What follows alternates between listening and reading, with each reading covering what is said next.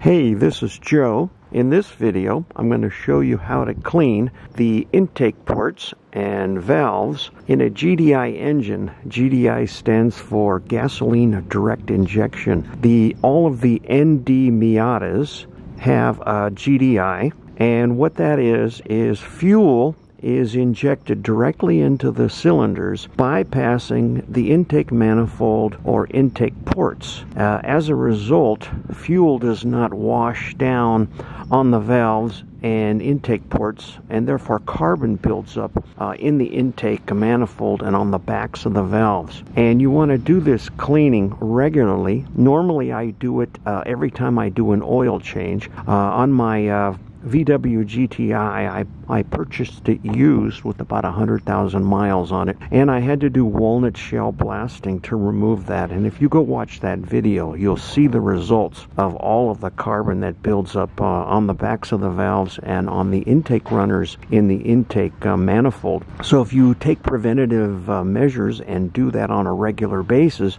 you won't get that carbon buildup. And it, carbon buildup will cause the engine to run poorly. So what I have is I've picked up some CRC intake valve and turbo cleaner, and there's some uh, instructions on the back that you have to follow rather uh, exactly in order to do a proper job. So if you if you watched my video where I removed the noise delete tube, I put a little rubber cap right here downstream of the mass airflow sensor. And uh, you always want to inject the cleaner past this because this cleaner uh, could damage the mass airflow sensor. They make a separate cleaning product to clean your uh, throttle body and your mass airflow sensor. So you want to make sure you don't get any of this uh, cleaner. It's rather harsh uh, on that uh, mass airflow sensor. So the instructions indicate that you have to start up the engine, you have you have to warm up the car properly. Then what we'll do is you remove the cap. And what I did was I again when I purchased these caps for my noise tube delete, you take off the sealed caps, you poke a hole in the end of one of these caps and then you can insert the nozzle of this cleaner into that cap and then put that cap on.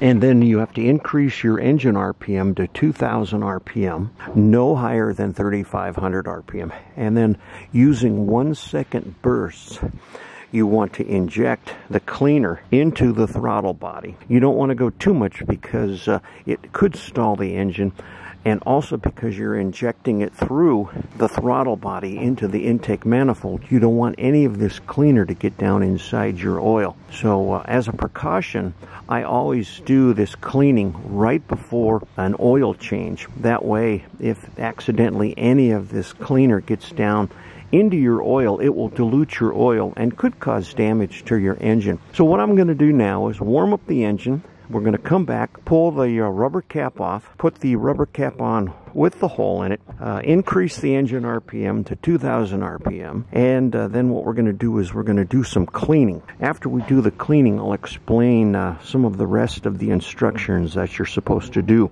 to get a proper uh, GDI cleaning. We have the engine warmed up to temperature now.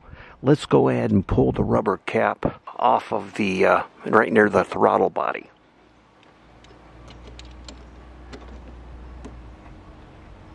Okay, we got a screwdriver.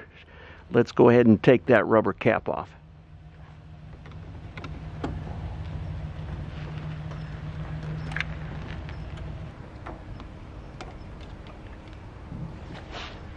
Okay, it says that you can invert the can if you don't have the room. Uh, so what we're going to do now is I'm going to start up the engine and put a piece of wood on the throttle. You want to keep the throttle right at around 2000 RPM and then you want to do one second bursts into the throttle body until the can is completely empty. So you're probably not going to be able to hear me when I start the engine, but I just wanted to let you know the procedure that we're going to follow.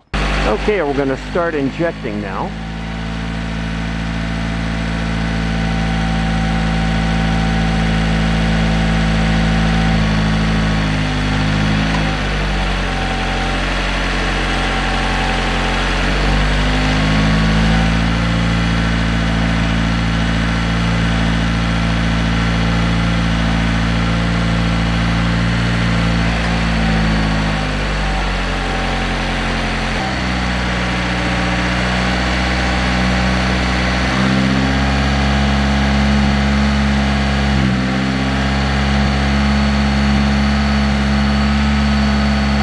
Me, I'm going to go ahead and inject the rest of that cam off camera and you don't need to watch all of that. You get the idea. We'll come back after we're done emptying the can. After the can is empty, uh, the instructions call that you're supposed to rev the engine several times to 3500 RPM, which we've done. And now what you want to do is let the engine heat soak for an hour. After the engine heat soaks for an hour, then they say you want to go out and drive the car for 10 minutes at highway speeds. So let's go ahead and let this sit for an hour and then we'll come back and take the car for a drive. We'll come back and then wrap everything up. In the meantime, I've pulled off the cap with the holes in it and we're going to go ahead and reinstall the caps without the holes and put the clamp back on.